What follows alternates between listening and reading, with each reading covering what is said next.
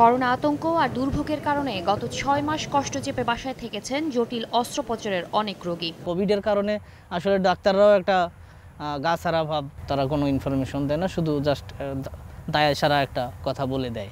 সম্প্রতি এই ভাইরাস আতঙ্ক কিছুটা কমায় তারা আবার ভিড় করছেন রাজধানীর হাসপাতালগুলোতে। ছুটছেন এক হাসপাতাল থেকে আর এক হাসপাতালে।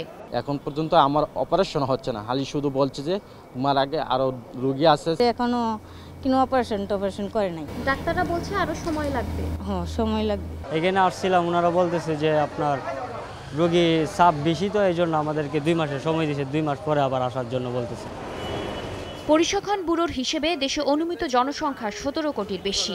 আর স্বাস্থ্য অধিদপ্তরের তথ্য বলছে, সরকারি বেসরকারি মিলিয়ে হাসপাতালের সংখ্যা পাঁচ হাজার সাতশো নয়টি।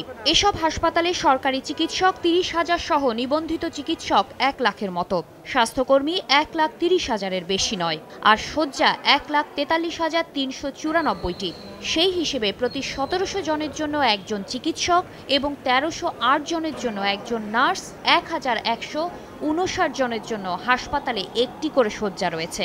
আপনার অ্যানেস্থেশিয়া এবং টেকনোলজিস্ট নিয়ে গেছিল গভর্নমেন্ট তার কিছু কিছু ছেড়েছে কিছু কিছু এখনও রয়ে গেছে। নার্সের পোস্ট আছে কিন্তু নার্স এখন আমাদেরকে দেওয়া হয়নি। আউটসোর্সিংয়ে যে ছেলেবেলে নিতে পারলে আমরা এগারোতলা বারোতলা পর্যন্ত আমরা করে দিতে পারব। কিন্তু গাণিতিক সমীকরণটা পাল্টে যায় যখন জটিল অস্ত্রোপচারের জন্য সারা দেশ থেকে রোগীরা রাজধানীতে ভিড় করেন। আরও কমফোর্টেবল এবং আরও জবাবদিহিতামূলক করার ব্যবস্থা করতে হবে। তাহলে একটা সময় দেখা যাবে যে আমরা এগুলোর উপরে আমাদের যে অভিযোগগুলো আসছে সেগুলো দেখবেন ধীরে ধীরে কমে যাবে। হাসপাতালের কর্মকর্তা, কর্মচারী, চিকিৎসকদের বিরুদ্ধে দুর্ব্যবহার এবং অব্যবস্থাপনার অভিযোগ রোগীদের অনেক পুরনো।